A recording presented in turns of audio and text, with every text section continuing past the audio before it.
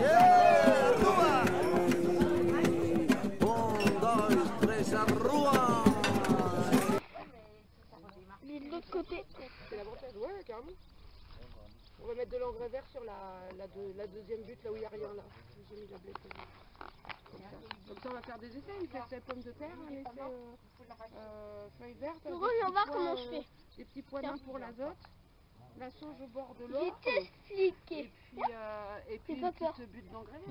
Alors regarde, tu prends de la terre comme ça. Et regarde, tu mets, t'en mets tout autour. Même sur les feuilles, c'est pas grave. Sur les feuilles, on va l'en- on va on va l'enlever, mais après quand on va arroser, elle va t'en- elle va s'enlever celle de. On met ça tout autour pour pas que la, fer- la feuille elle soit seule, la salade, et pour pas que ça tombe sur tous les côtés. Et puis pour que les racines, elles aillent bien dans la, elles aillent bien dans la terre. Ça met bien tout autour.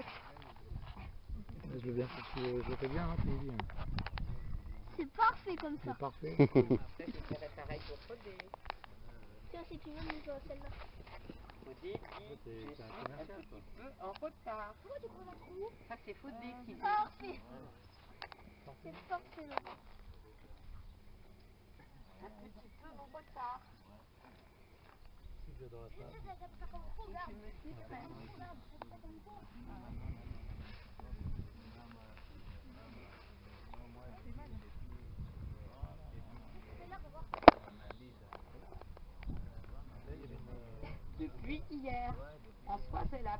appelé hier matin.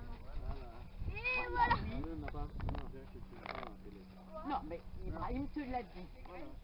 Il te, tu l'as vu au cours hier. Euh, euh.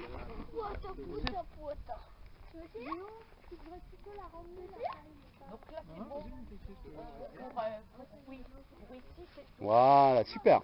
Ah ben non, vous pouvez continuer. Bah oui. Nous, ça se passe bien.